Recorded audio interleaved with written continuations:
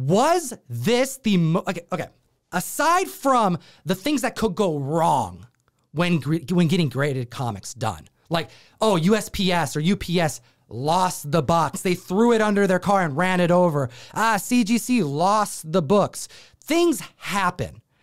Putting those things aside, because nothing like that happened. You you submitted the books, the books came back.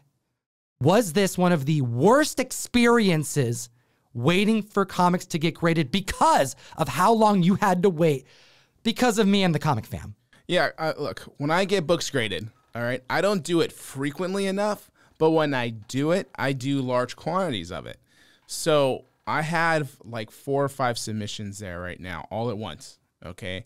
And I have looked at all of them except for this one. And I am frantic when it comes to knowing in advance. So I will constantly refresh maybe 12 times in a day. Okay, knowing that, that it's there. You know, You compulsively check the grades. Yes, is what every day. I do. Every day, I got to know what the, from the community in the comment section below.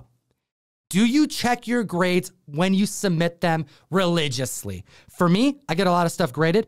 I kind of like opening it up in person. I kind of forget. I like the surprise. I didn't always do that. If I had a really expensive book that I'm like really hoping that it comes back a certain type of grade, yeah, I'll check it. Oh, I hope it doesn't come back restored. I'll check that kind of stuff. But most of the time, I avoid it. I want to know what the community does in the comment section.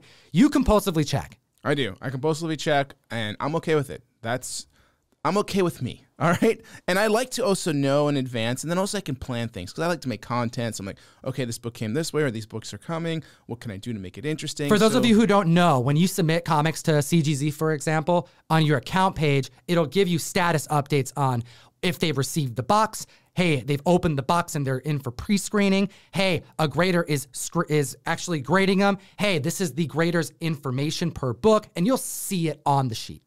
And I'll even okay, you know, so there's also a shipping hyperlink. Sure. So when you click the shipping hyperlink, it takes you to the tracking. So once I do that, I have a USPS account.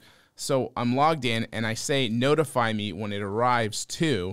Uh, so I'm getting notified on that end as well because I want to know immediately when it arrives, so I don't have to like assume or or like you know just have it sitting there because it's the post office and it's Right. usually I'm doing Standard Express and usually pretty high value books, so I want to be able to get it right away and not have it you know hanging out in purgatory mail hell potentially. All right, so we are going to be doing a special podcast today because we have a giant unboxing to do. But you know, we got some commentary we got to give. We have a lot of stuff to talk about because 21 Hulk 181s, that's a lot of green, but it's also a great learning opportunity. We're going to test the guru and see because you did a estimate of what you were hoping the grades would be. We're going to see how accurate you were. We're going to see how off you were on some of these because Comic Fam, he brought this box to me and it was sealed. I'm the one who opened and saw the grades before you did, Jeff. I went through and matched up the raw books with you and then went to the box and figured out which book it was that you took a video of when you went through your screening process. So I know every single book I put on a like sticky note on the back what you thought it was and we are going to reveal together as a community what you got. Yeah, so just to clarify, I took a video of every book that was raw with a post it. Okay, and that post it said the grade that I um, was uh, expecting to uh, receive from CGC. Approximately. Yeah, and so I sent you all the videos. You're going you cross referenced all the books, and so yeah, this is going to be a big su- surprise for me. I'm sure I won. I'm sure I failed. I'm sure it was even. We're going to estimate the totals and we're going to give it to you because we also pulled pricing for Hulk 181s. I want to start out with one reveal though. We're going to be trickling out these reveals all show because we have different segments we're going to do in according to the books. But the first thing I wanted to show you was what you told me was the one that you were most excited and longing to find out how it did. You told me that there was a raw book that you were hoping, crossing your fingers, would come back a 9.0. So the first book, and we have a camera set up so that you can give some of your reactions to the grades, but also I would like you to point out flaws and things that went through your mind in the beginning when you were screening these to teach the community what you were looking at, because maybe you can spot something that maybe a novice wouldn't. Your first Hulk 181 that you were hoping would be a 9.0. I have a 9.0 on the back. It says it right here. You got a 9.0. Congratulations, my brother. We already have a winner. So let's talk about this 9.0. Let me take a good look at this thing too. Here. Yeah, I mean, this is a sharp book. Look, it's a 9.0. It's a sharp book. It has a few color breaks along the spine, but for the most part, pretty sharp corners. Uh, the wrap isn't perfect, but it has the lightest of foxing on the back cover along the top here. So that held it back. Um, if that wasn't there, this could have been closer to probably a 9 2. I don't know if it would hit the 9 4. I thought this was going to be above a 9 0 until I flipped it over and saw the foxing. Can you explain that to the community so they know how to keep an eye out for this type of problem? Foxing will appear as kind of these light discoloration spots on the back of a book or the front of a book. So just know when you see that, depending on the severity, is depending on how much you will be uh, knocked on grade. Now, you can actually get quite a bit of foxing on a book and still get a pretty solid grade. I've seen uh, an immense amounts before and still have a 6065 if the rest of the book's pretty nice. So we are going to be tallying up towards the end of the video the total value based off of the last sale at the particular grades that we have. But I'll tell you as we go, a 9.0 last sold for 96 hundred dollars. We're basically starting out with 10K on the table. Hit the subscribe button, Comic Fam. Hot damn. All right. So we got a 9.0, Hulk 181. Beautiful copy. We have some other books that we that you submitted rather. I didn't I didn't submit these books. But these are ones that we did not have any type of accounting for. So these are going to be kind of surprises. All right? We Yeah. lost some videos. Yeah. So Only a few. It's not a big deal. Yeah, I mean, when there was that, like trying to get through 23 of them, because two of them are going to go to CBCS because one's a signature and one's an incomplete. So uh, having to deal with 21 raws and between the length of time it took me to press them and then film them and switching post-its around, I there was some lost in translation, and so I got I got confused. So we're still going to reveal these in the first part of the show. Let's make it happen. Um, there's only four of these ones that we didn't get notes on. So any, you know, if, if they inspire you, you remember some of the problems, anything, just walk us through if you're surprised at the grades or maybe a little bit about why you expect them to have gotten what they got. We have a Hulk 181, the lowest of the stack that you didn't notate, a 1.8. So I have on my notes, um, last 1.8 sold for 2250. Yeah, I'm looking at this 1.8 here. Um, it it looks familiar. It really does. Um, I don't, I don't quite understand why it's a 1.8. Um, I probably would have graded this higher. Uh, looking at it now, um, so it, it looks like it's got detached bottom staple and maybe top at the back cover. Um, if I remember correctly, this cover was attached to this book. I don't remember having any detached covers. Um, this is a gorgeous 1.8.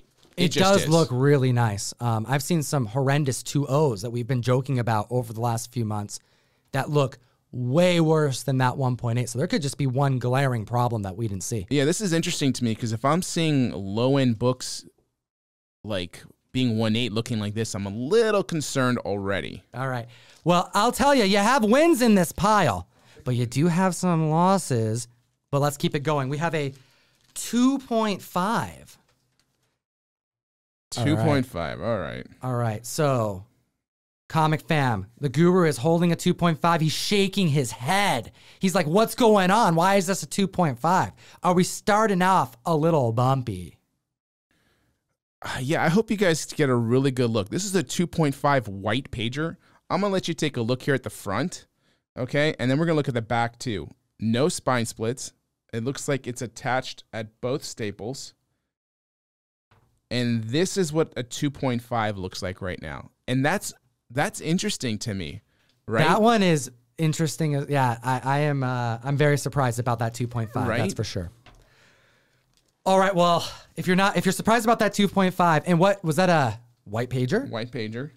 All right. Well, this one is a 2.5 as well, off white to white. So maybe you can compare and contrast because this one looks way more banged up than that one. So let's show them this 2.5 and then show them that 2.5. And remind everybody, at last 2.5, it's selling for right around the same price of a 1.8. Um, again, they don't come up as often. So some of these sales are going to be right around the same amounts. 21.5. But if a 1 is going for 22.5, you can imagine it's going to be riding right around that 2,500 to $3,000 marker. Yeah, this 2.5. And I think I would have, I thought this book, um, cause this book actually came crumpled. It came right. crumpled. It was, I just, I, I, I bought one right before the submission to add another to the pile. okay. and it was um I probably have photos somewhere, but it was if you put it down and laid it, it would be a topographical map. Like it felt like it in- you could read it like braille. Okay. So I pressed it um, to get it down and flat, but I thought I could have got this to a 3.0. Um, it does have uh, kind of a chew at the bottom corner. Regardless, um, this book is. I'm surprised at some of these because I've seen plenty of 3.0s worse. And to compare it to this 2.5, which Yeah. looks much better. Look at how much better this one looks than the one that we just showed you. This white pager looks pretty damn gorgeous, man. All right. Well, let us know in the comments section what you think, comic fam. Does he need to resend some of these? Maybe what we could do is even crack some, send to Hero Restoration and see what they do to it. Maybe up the grade. Who knows?